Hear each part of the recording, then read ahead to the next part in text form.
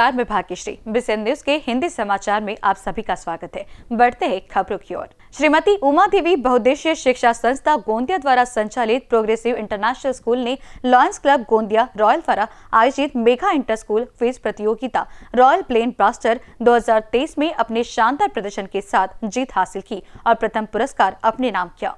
प्रतिवर्ष आयोजित इस प्रतियोगिता में इस वर्ष संपूर्ण गोंदिया ज़िले के विद्यार्थियों की 88 टीमों ने प्रतिभाग लिया। प्रथम चरण के चयन राउंड में 20 टीमों का चयन हुआ, जिसमें प्रोग्रेसिव इंटरनेशनल स्कूल की टीम के विद्यार्थी कुमारी निधि, राजकुमार पटले, कक्षा दसवीं, मास्टर तन्मय रविकांत कोटांगले, कक्षा नौवीं, कुमारी वैष्णवी, राजेश ओक्टे कक्षा आठवीं। इन्होंने अपनी तर्क शक्ति का उत्कृष्ट प्रदर्शन करते हुए फाइनल राउंड में अपना स्थान सुनिश्चित किया। Multiple choice round rapid fire buzzer audio video round में प्रोग्रेसिव की टीम ने प्रश्नों के सही उत्तर देकर प्रथम स्तर पर अपनी जीत दर्ज की। आयोजकों द्वारा सफल टीमों के सदस्य को पाँच हज़ार सौ रूपए व ट्रॉफी द्वारा प्रोत्साहन दिया गया। सभी सफल विद्यार्थियों को संस्था अध्यक्ष डॉक्टर पंकज कटकवार, संस्था सचिव डॉक्टर नीरज कटकवार, प्राचार्य ओटी रहांगडाले, प्राचार्य आशा राव, ज्योति पहिरे, जयश्री खंगार ने अभिनंदन किया।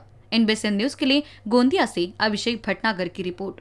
भाजपा द्वारा विधानसभा प्रत्याशियों की दूसरी सूची जारी होने के बाद छिंदवाड़ा पहुँचे केंद्रीय खाद्य एवं प्रसंस्करण मंत्री और नरसिंहपुर से भाजपा प्रत्याशी प्रहलाद पटेल ने पत्रकार वार्ता में टिकट दिए जाने पर पार्टी का आभार जताते हुए कहा कि हम लोग सामूहिक नेतृत्व में चुनाव में जा रहे हैं और पार्टी का जो भी निर्णय होगा, वो हम सबको स्वीकार होगा। पार्टी जहाँ से कहेंगी, हम सभी वहाँ से चुनाव लड़ेंगे।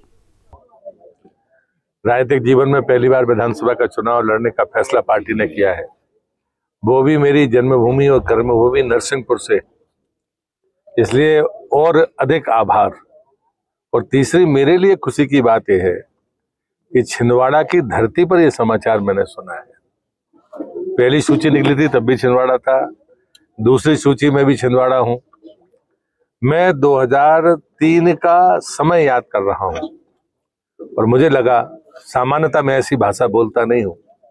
लेकिन मैं आज पूरी ज़िम्मेदारी के साथ कह रहा हूँ, छिंदवाड़ा की इस विधानसभा के चुनाव में 2003 जैसी सफलता भारतीय जनता पार्टी अर्जित करेगी, पूरी तरह से कांग्रेस का सफाया होगा। ये भ्रष्टाचार, भ्रम और भय का किला बनाने वाले लोग इस चुनाव में निस्त नाबूद हो जाएँगे। ये मैं अपने संकल्प को दोहराता हूँ। भारतीय जनता पार्टी की रणनीति आप हमेशा से देखते हो कि रणनीति में कार्यकर्ता की भूमिका पार्टी तय करती है। जी, हमारा, हम लोग बार बार कहते हैं, कई बार आप लोगों को लगता होगा, लेकिन इससे साबित हो गया कि नहीं, पार्टी का कार्यकर्ता सारे लोग हैं। कोई मंत्री है, कोई सांसद है, कोई पदाधिकारी है, कोई राष्ट्रीय पदाधिकारी है, लेकिन जब पार्टी आदेश करती है तो हम उसका स्वागत भी करते हैं और उसके प्रति आभार व्यक्त करते हैं और पूरी प्रसन्नता के साथ स्वीकार करते हैं। नहीं, ऐसे चक्कर में भारतीय जनता पार्टी नहीं पड़ती। सहयोग होगा। अभी तो एक और आनी है। अब अगर वो हुई तो फिर मैं आपकी बात का जवाब दूँगा।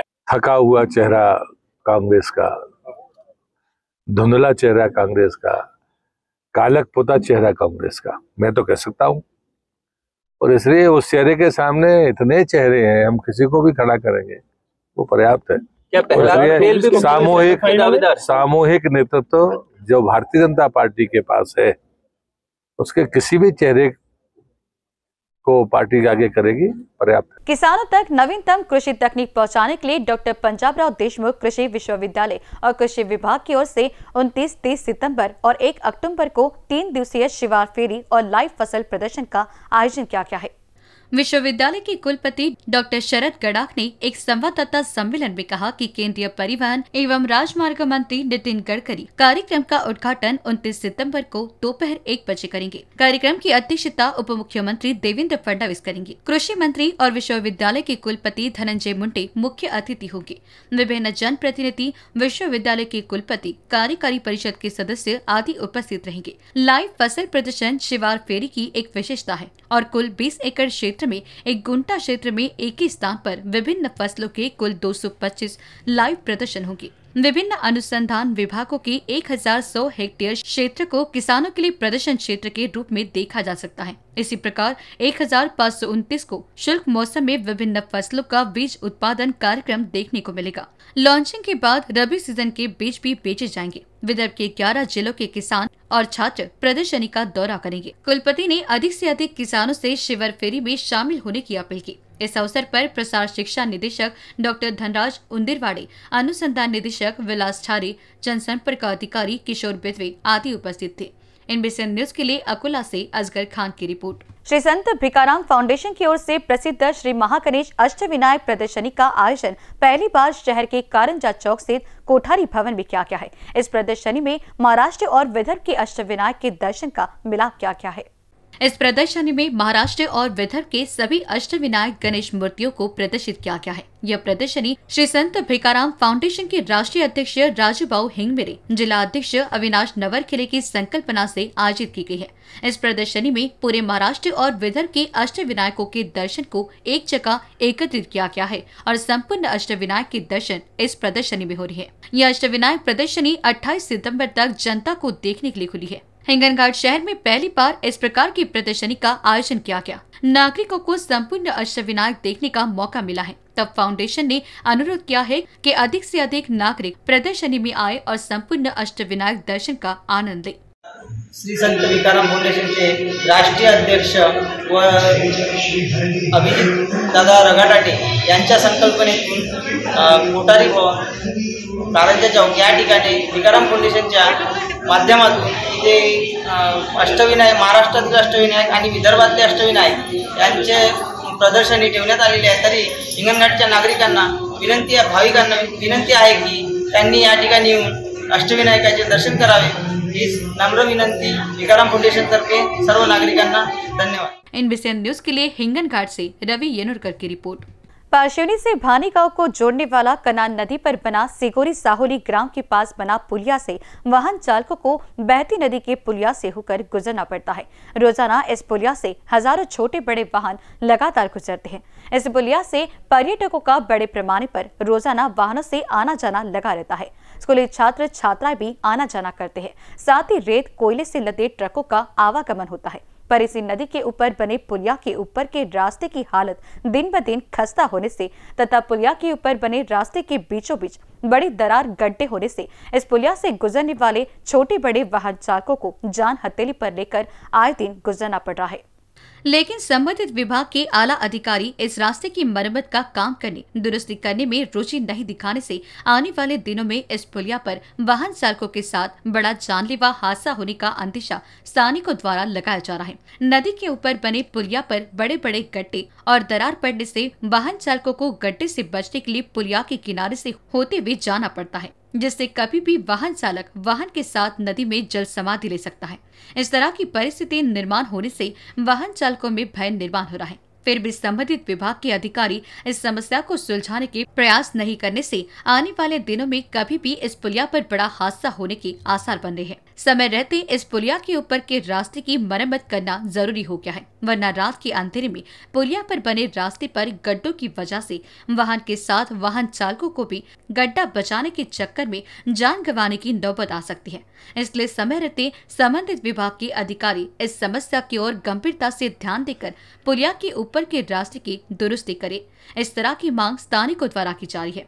इनमें न्यूज़ के लिए पार्शी रुपेश खंडारी की रिपोर्ट। सामने तालुका के खापा पुलिस स्टेशन के अंतर्गत खापा की एक नाबालिग लड़की के सोशल मीडिया पर अश्लील फ़ोटो और वीडियो प्रसारित करके मानसिक और शारीरिक रूप से प्रताड़ित किया गया। पीड़ित की ओर से खापा थाने में शिकायत दर्ज कराई गई है।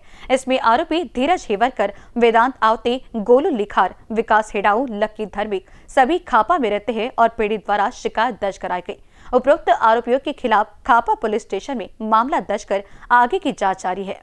खापा पुलिस के लचर कार्य प्रणाली से मामला दर्ज कराने में देरी होती देख खापा थाना क्षेत्र में संतप्त नागरिक बड़ी संख्या में एकत्रित होने लगे। थाना परिसर में उमड़ती भीड़ तथा लोगों के आक्रोश को देखते हुए वरिष्ठ अधिकारियों से कार्यवाही की मांग की गई। थाने क्षेत्र में लोगों की भीड़ होने के कारण स्थिति की गंभीरता को देखते हुए डीवाईएसपी अजय सांखेड़े ने संतप्त भीड़ को उचित कार्यवाही का आश्वासन देकर खुद इस मामले को गंभीरता से लेकर यह कार्यवाही की। प्राप्त जानकारी के अनुसार शहर में एक युवक ने पीड़िता से प्रेम संबंध बनाकर उक्त युवती को धोखा देकर उसके साथ अनेकों बार दुराचार किया और युवती की अश्लील फ़ोटो और वीडियो सोशल मीडिया पर डालकर उसे बदनाम करने की साजिश रची और उसके ज़रिए युवती को ब्लैकमेल कर उसे शारीरिक और मानसिक रूप से परेशान किया जा रहा था। तथा इसी के आधार पर उसे धमकी देकर अपने दोस्तों के साथ संबंध बनाने के लिए मजबूर करने लगा। तथा शहर के माताखेड़ी और लामपटपुरा क्षेत्र के एक घर में शारीरिक शोषण की प्रारंभिक जानकारी प्राप्त हो रही है। सोमवार को रात 12 बजे से 1 बजे के बीच पीड़िता के माता पिता ने पीड़िता को विश्वास में लेकर थाने पहुँचे और प्रारंभिक शिकायत दर्ज की।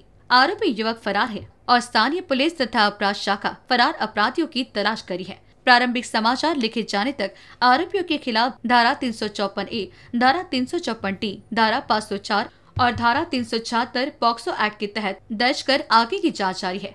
इस घटना की आगे की जाँच एसपी हर्ष पोदार और डीवाईएसपी अजय चांदखेड़े के मार्गदर्शन में। सावनेर पुलिस निरीक्षक रविन्द्र मानकर और खापा पुलिस सहायक उप निरीक्षक मनोज खड़से कर हैं। सूत्रों की माने तो पीड़िता के प्राथमिक बयान में इस मामले के करीब 22 युवकों की लिप्तता होने तथा उनमें से उपरोक्त पाँच युवक के नाम, उसे पता होने से उनके नाम से मामला दर्ज कर आगे की जाँच जारी है और जाँच के दौरान अपराधियों की संख्या बढ़ सकती है। एनबीसी न्यूज़ के लिए सावनी से किशोर ढूंढेले की रिपोर्ट मेरी माटी मेरा देश अभियान अंतर्गत सरपंच अशोक डौरे के नेतृत्व में ग्राम सफ़ाई अभियान वृक्षारोपण व प्लास्टिक बंदी आदि आयोजन सम्पन्न हुए ग्राम पंचायत हेटी सावंग के सरपंच अशोक डौरे के नेतृत्व में मेरी माटी मेरा देश इस अभियान के तहत ग्राम सावंगी में स्वच्छता या सच्ची सेवा के तहत समूचे ग्राम की साफ़ सफ़ाई तथा जगह जगह वृक्षारोपण व प्लास्टिक बंदी पर जन जागृति की गई। इस अवसर पर ग्राम सचिव सचिन सहारे, मुख्याध्यापक देवार, ग्राम पंचायत सदस्य लोकेश वानखेड़ी, पार्वती वाड़पुते,